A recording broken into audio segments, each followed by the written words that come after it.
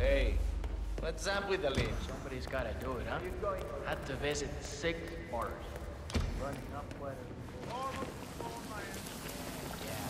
You need to be extra careful around the family. Eh? Did you hear Javier's stole the love letter Hector Delgado wrote for Martinez? Had to jump out of a window before Hector discovered him. This one looks like an accident. What a mess. we need to help here